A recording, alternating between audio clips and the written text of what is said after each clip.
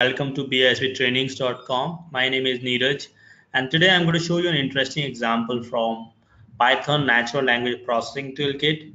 We'll find an antonym and synonym of a given word.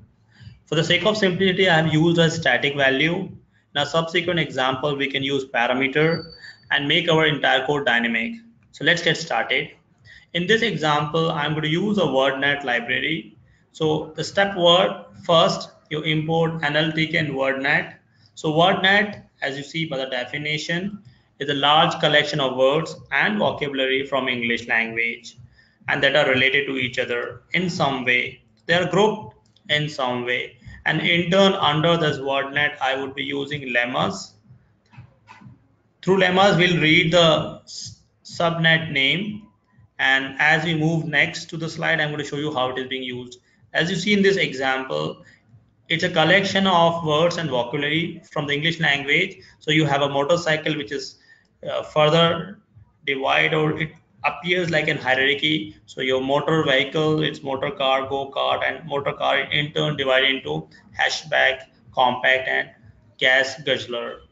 So WordNet, you can assume appears like an hierarchy and we would read all the synonym in this fashion. So let's start doing it practically as well. So I'm going to open my Python 3.7 IDE and import NLTK and WordNet. Okay, so step one, let's import NLTK and then I'm going to import WordNet, WordNet from NLTK dot corpus. That is step one. Step second i'm going to create two array called antonym and synonym separately so that we can collect antonym and synonym of a given word. So let's create an array. You can give any name. This empty array i'm going to give a name called array synonym. It's an empty array. Therefore leave this this is empty an array antonym. Right. Next step i would like to retrieve all the values for a given word. So i use over here a function called wordnet dot synonym set which is written like syn set as under parenthesis you pass you pass a string. So i'm going to show you what does it return. So before we use this let's display the value over here wordnet dot synonym set. And you pass over here some static. I'm going to pass a string very common word called good so that when i run this you can see what is going to be an output. Let's save it first. So i name it synonym try example one. So when you run this for good you see all the synonym and antonym as well it take a little time to process. And once it is processed I, am going to browse through each member one by one. Well this is not the way we wanted an output. You see goods good dot and dot zero one. It's a kind of hierarchy view right? And the different meaning of good are being shown over here full adapt dear and so on. But the way we want to display in a very simplified english language. So i'm going to browse through all by using for loop. I use a variable called over here with synonym in wordnet dot synonym set. I just pass this. So we'll browse through each member one by one through by using and for loop. And then i display the value over here and show you how it look like so this is what it is going to look like. We use a variable called v synonym syn and i'll display the value of this. If you simple displays without any property this is how it look like. Display all the member one by one. I should have commented this first. I'm going to comment it save it and run it again. So you see all the word nets of synonym of good. But is this the way we want to display want to display all the synonym in a simple array in a simplified way. That's not the way it's supposed to be displayed. So i want to collect only name right? Not all. It is like an array. So i use a nested for loop within the same. Use another for loop. And I'm going to read all the member one by one. For that, I'm going to use the lemmas function over here. So I need to retrieve all the value by using lemmas and we browse it through a variable called L, right? So as you see in this example, given a collection of similar word is called lemmas and therefore I'm going to browse through each member one by one. And within this, I want to display on the name. So lemma dot there's a property called name. Let's display this property and see what happened. So this was this was my previous output and now I'm going to have a new output. This will retrieve only the synonym of a given word. You see, this is how we are finding. I supposed to be commenting this so that we see exact meaning. So good, honest, undecomposed, unspoiled, all these names are being shown.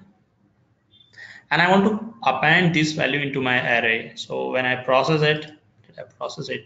This is what I'm getting, right? Now let's put this into an array. So Rather than displaying it, I'm going to append this into an array. Your array name dot append method dot append and I'm going to append the name of it L dot which is an object of lemmas dot name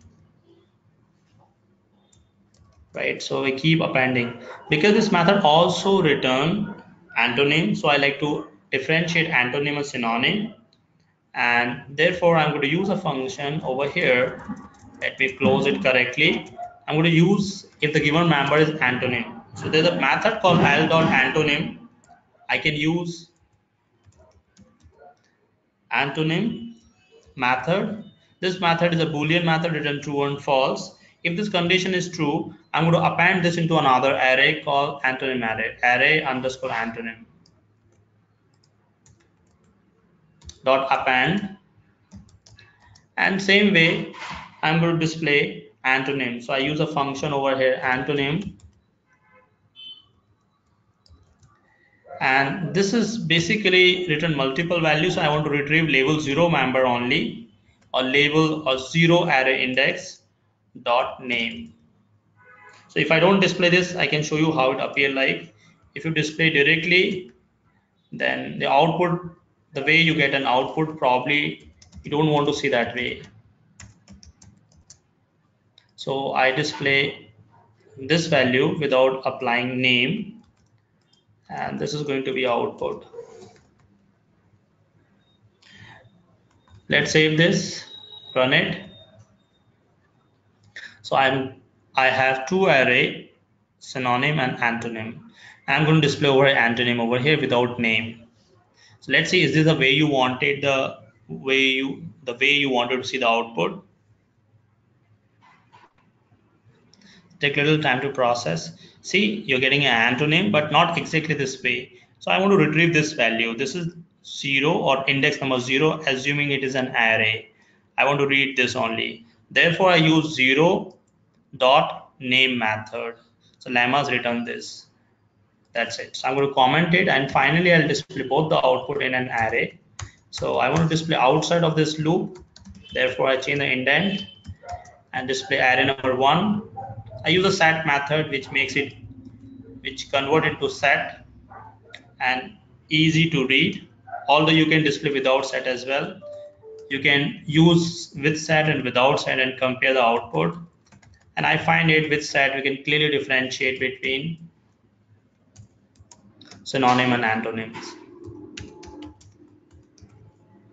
that's it save it and run it this is your final code piece of code and I use print at various level to help you understand step by step how it is going to process.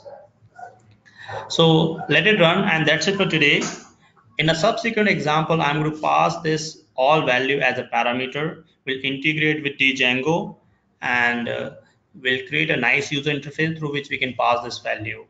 In a subsequent example, we would automate the whole process and we do resume analytics. So look at look at this. This is an output. This is set one, which say or antonym, synonym. Sorry, and the second part is antonym.